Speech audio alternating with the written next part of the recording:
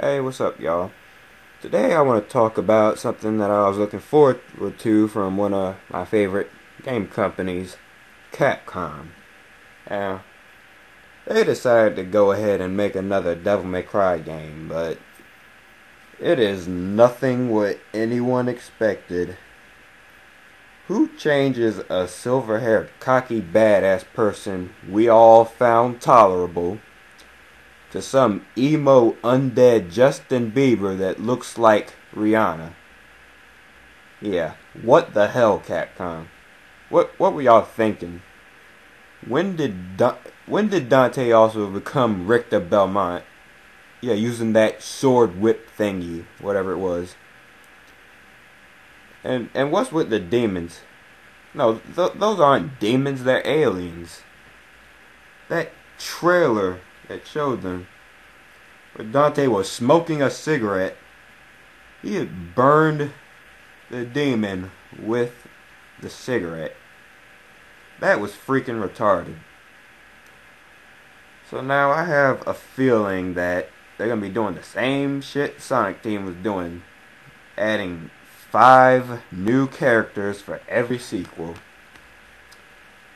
I mean, I would rather play Devil May Cry 2 non-stop all day and watch the Devil May Cry anime. Because, yeah, I think that anime sucked. So, so there you have it. I mean, why does it always seem like 3 is the best out of just about any franchise? I mean, look at look at the DBZ, Budokai 3 yeah, that was the best of the Budokai series. And Tenkaichi 3, the best of the Tenkaichi series. But see, that's just DBZ. They know what they're doing. They keep doing their shit right. Now, look at Sonic the Hedgehog 3. Yeah, that's Sonic in his glory days. And everything else that came after that was just bullshit from Sonic. Uh, not not all of it, about like two or three. Uh, but anyways, uh, yeah, Mortal Kombat 3. Yeah, that was a, a beast. Yeah, Mortal Kombat was the best.